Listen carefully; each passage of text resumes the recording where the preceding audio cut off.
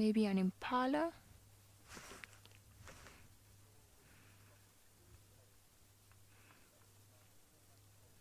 Hmm. Stunning.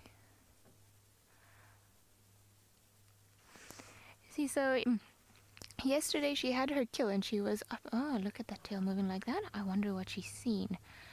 Normally, when they start moving their tail like that, is that they're thinking about something, and then there was something that caught her attention. So she actually seems to be smelling something down there. Amazing how she's just gone, disappeared into the sea of yellow. we can just keep up with her. Looking at that white beacon. So you understand now why sometimes, or why leopard mothers have got that white on the fluff of the tail. Imagine all the tiny cubs that are not longer than the grass and that they need to try and follow a mother. Pretty much semi impossible to them unless they've got something to look at, which is exactly what we were doing. We're just, you know, pretending that we are perhaps leopard cubs to be able to find her. Please don't let there be a log here. Oof.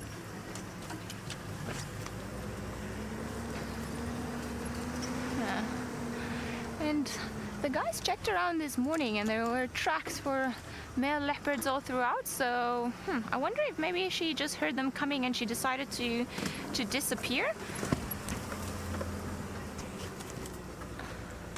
Let's see where you are. Okay, she is still there. She hasn't moved all that much, but we're just gonna make our way slightly closer. Don't want to be moving around too quickly to try and find her, because then we might just spook her.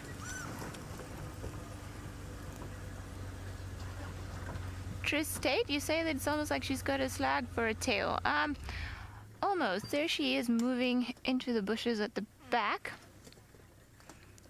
A flag. Sorry, I thought that's that's what I said. Maybe I'm too excited looking at Xongile that starts with an S and I'm making up words as we go along. But yes, that is exactly what it is, a flag. Um, and that's, you know, a beacon that she takes and then she carries through the bush with her, but just the tip of her tail. And thankfully, we've got that, because you can you imagine if she hadn't put that up, we, I don't think we would have been able to see her amongst all these grass. Hmm, lots of other marulas around here. I wonder if maybe she's gonna try to climb a different one.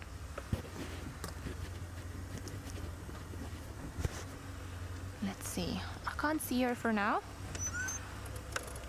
I think she's gone further ahead of us.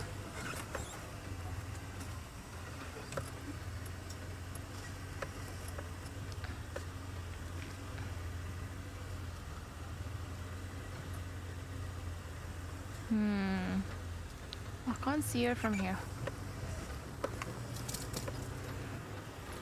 Alright, we will definitely get... She's going onto a termite mound. Let's see if perhaps she goes up. Yeah, go up the termite mound, Xongile. Yay! Look at her on the termite mound. Go up. Come on, girl. All the way up. Can't see her from here. Ugh. Maybe not all the way up, but I'm sure she is on the other side of the termite mound.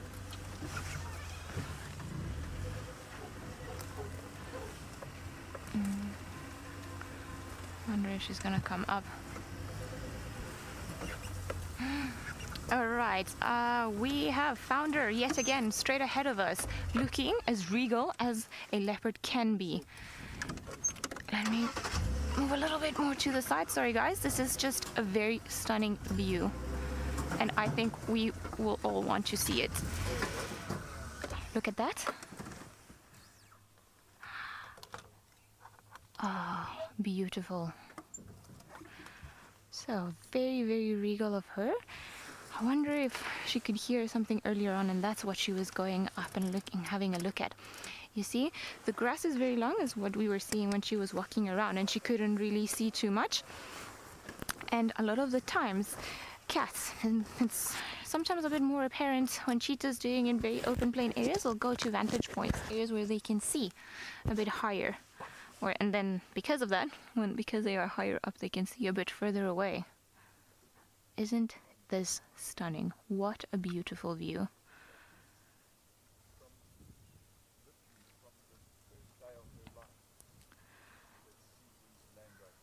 And that is wonderful. And it's that's the shape of the termite mound almost seems to to be good for her. hello? Are you saying hello? Oh, that's just stunning. Look at her. So regal already. So she is alert. She's looking at something, maybe just scanning all of the area around. Her ears are constantly moving in the wind, so she's picking up all the noises that everything around us is making. The wind is picking up a little bit more as well, so I wonder if maybe she's gonna come down. But wow, what a view!